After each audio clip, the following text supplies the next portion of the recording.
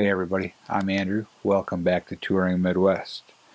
So we have the Sena SPH10H um, Bluetooth headset for half helmets and we're just going to go over a quick install video. So first off, you want to use the side that has the microphone, mount that on the left hand side of your helmet. So you can take the tab insertion tool, which is this little piece right here, and put it against the Velcro. That way you can get the tab inserted into the helmet without it catching and uh, and sticking too soon. So just slide this in here if we can. I really hope we can.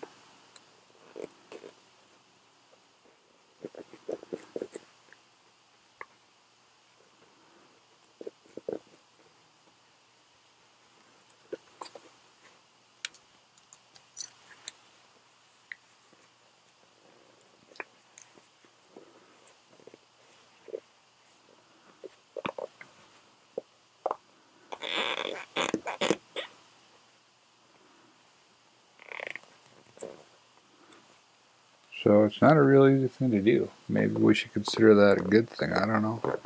But just keep working it down in there. So at that point, the Velcro really holds it into place well. So then you want to just slip your elastic over the buckle part of your helmet, like so.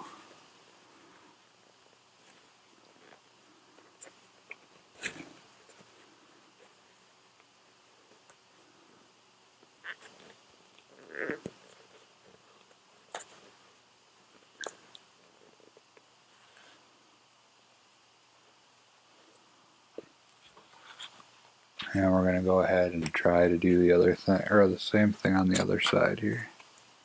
Alright, so once you've worked both sides in, um, and at least on this helmet, it is not a super easy thing to do. Once you got those in place where you want them, then just kind of find a place to run the cable that connects them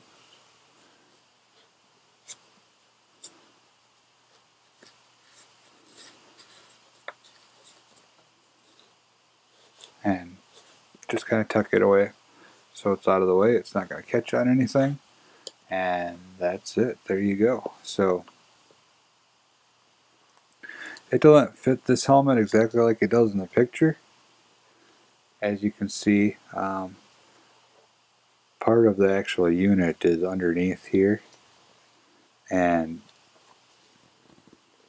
I just can't get it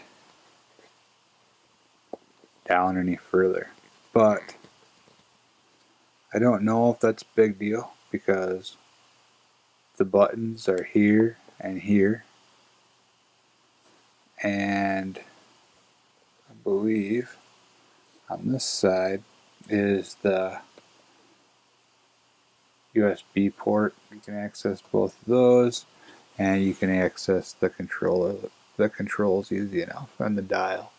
So there you go. That's pretty much how to install the Sena SPH10H um, Bluetooth headset for half helmets.